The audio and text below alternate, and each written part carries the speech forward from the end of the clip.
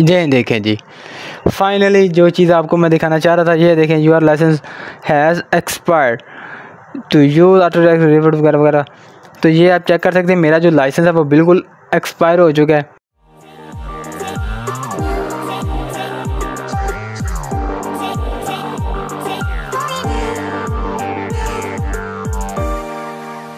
अलकुम आज हमारे साथ तो क्या बल्कि हर किसी के साथ यही होता है सीन ऑटोडेस्क के कुछ सॉफ्टवेयर हम लोग इस्तेमाल कर रहे होते हैं, जैसा कि ये कैड हो गया ऑटो कैड हो गया और रिवर्ट वगैरह। तो इनके लाइसेंस जो होते हैं, वो स्टूडेंट वर्जन के ऊपर हों तो वो एक साल के होते हैं। उसके बाद जी ये लाइसेंस जो है, वो एक्सपायर हो जाते हैं। तो अब तो कुछ उनकी टर्म एंड कंडीशन जो हैं, वो मुख्तफ हैं। तो यानी कि मेरे पास जो ऑटो डेस्क का लाइसेंस था ऑफिशियली वो हो चुका है एक्सपायर अब मैं जो किसी तरह के भी ये ऑटो डेस्क के सॉफ्टवेयर जो है वो लीगल तरीके से इस्तेमाल नहीं कर सकता. लेकिन अभी मैं आपको दो रुख दिखाऊँगा और मेरे पास जो कैड है वो बिल्कुल रन कर रहा है. वो कैसे कर रहा है और रिवर्ट किस तरह से काम कर रहा है. तो वो मैं आपको दिखाता हूँ. रिवर्ट जो है वो ये पड़ा हुआ है ऑफिशियली है तो अब इसके ऊपर मैं वर्क नहीं कर सकता. और मैं लाइसेंस को किस तरह से एक्टिवेट करवा सकता हूँ?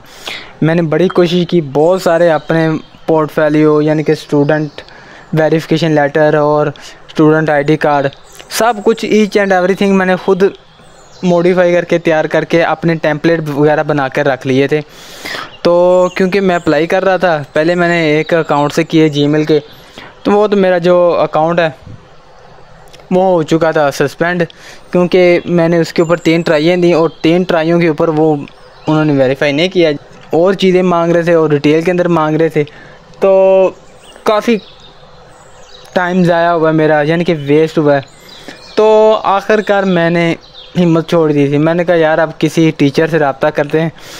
तो वो मेरी हेल्प करता है और मुझे अपने कॉलेज या किसी स्कूल का वो एक ऐसा लेटर वेरिफिकेशन लेटर बनाकर दे देते हैं ताकि मेरा जो लाइसेंस है वो अप्रूव हो जाए और मुझे लाइसेंस मिल जाए अग, अगले दो साल के लिए। मैं उसको पीडीएफ के अंदर कन्वर्ट करवा लूँगा तो मेरा वो चलता रहेगा। बट तो वो नहीं हुआ क्योंकि वो पॉसिबल ही नहीं हुआ। तो अब ये मैंने आपको दिखा दिया ये मेरे पास जो ऑटो डेस्क का ऑटो कैड है ये ऑफिशियली रन कर रहा है।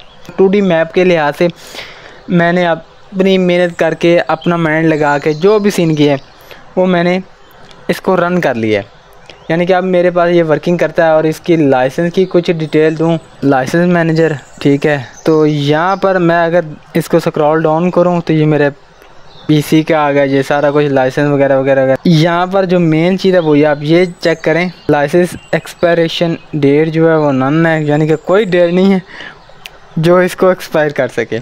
अब मैं आपके सामने ये रिवर्ट का ओपन कर रहा हूँ सॉफ्टवेयर। ये भी ऑटो डेस्क का तभी जो मेरे मेन्यू यानी कि डेस्कटॉप के ऊपर इतने ज़्यादा वर्किंग प्लान पड़े हैं ये तकरीबन हमारे कुछ काम के रिलेटेड चीज़ें।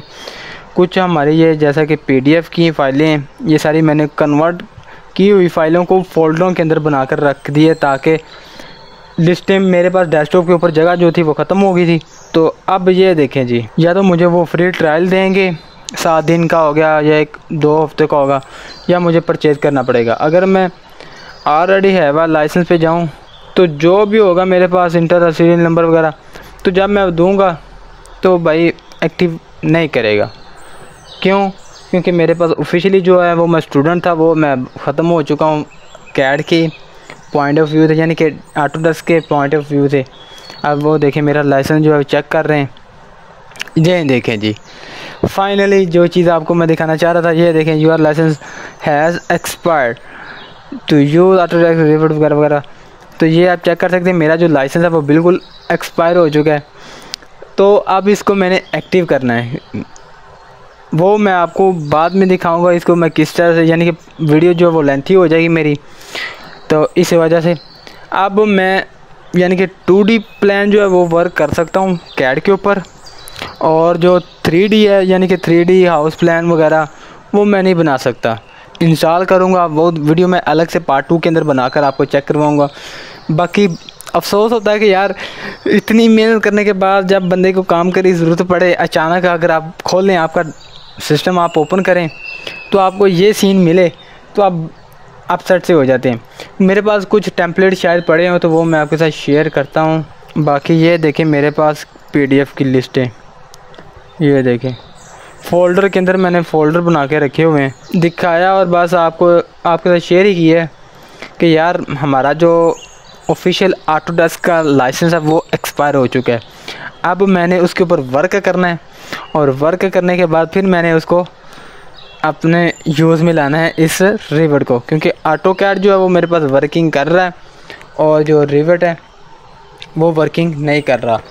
तो मैं वैसे आपको दिखा देता हूँ एक रेंडमली इसके रिवर की जो प्राइस चल रही है आजकल।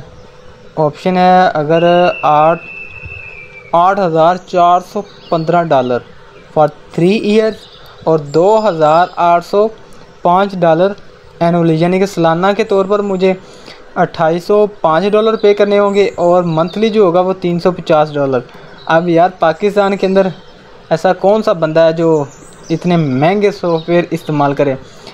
अमूमन हमारे पास इधर क्या होता है जी?